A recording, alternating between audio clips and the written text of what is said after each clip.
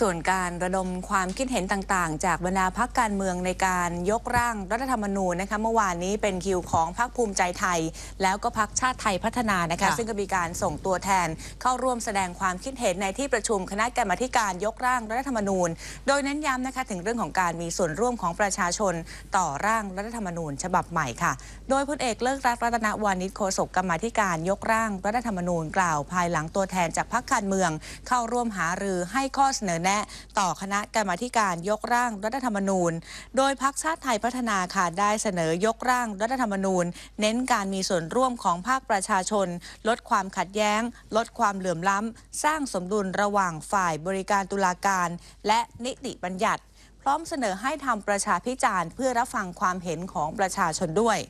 ส่วนพักภูมิใจไทยเสนอแนวคิด ไม่จำกัดวาระการทำหน้าที่ของสส เน้นสร้างธรรมาภิบาลนักการเมือง มีการถ่วงดุลที่สมดุลกันระหว่าง 3 อำนาจ และปฏิรูประบบราชการให้มีประสิทธิภาพป้องกันการทุจริต ปรับปรุงอำนาจหน้าที่ขององค์กรอิสระ สร้างพักการเมืองเข้มแข็ง โดยเฉพาะประเด็นการยุบพักการเมือง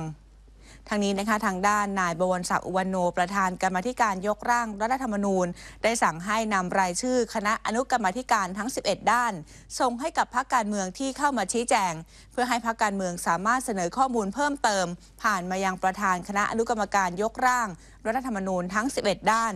โดยจะนำข้อเสนอแนะของพรรคการเมืองไปใช้ประโยชน์ในการยกร่างให้มากที่สุด